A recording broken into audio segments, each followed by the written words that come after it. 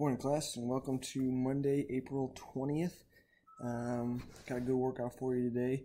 Uh, hope you guys had a great weekend. Um, let's get right to it. You're going to go to assignments. Um, you're going to go down to day work, and you're going to select April 20th, e-learning at home workout. And um, just like normal, you got your, your warm up to start, pretty straightforward. And then at the end, you got your uh, cool down to uh, let you know what I'm doing right there. So that's pretty straightforward.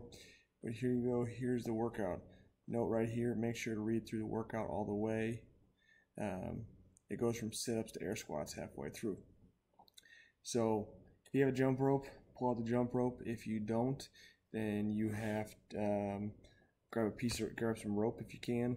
If you don't have either of those things, um, then imaginary jump rope is going to have to work for you. Uh, so uh, do kind of a jump rope routine or mimic using a jump rope um, just with air. All right, here we go. You have a hundred jump ropes.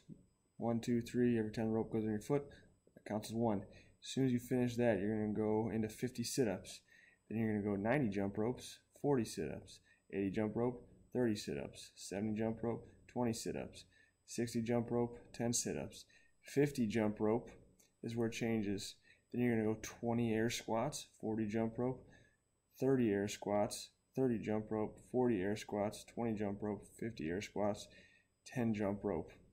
All right, so it's going down from 100 uh, to 50 here, and then 50 to 10 sit ups, and then from 50 to 10 jump rope, you're going up um, in air squats from 20 to 30 to 40 to 50 um, right there. So again, you're doing 100 all the way down to 10 jump ropes, and then you're going sit ups halfway, and then you're going air squats up halfway. So make sure you're looking at this right here um, so that you know exactly what you need to do. And then once you're done with that, you're going to go for a 10 to 15 minute jog. Um, get a little cardio in today. Um, again, do this, and you got a 10 to 15 minute jog, and then finish with your cool down. At the end of the workout, please make sure you're uploading your selfie. Um, and that's the workout for today. Hope you have a great day. Let me know if I can help you out anyway.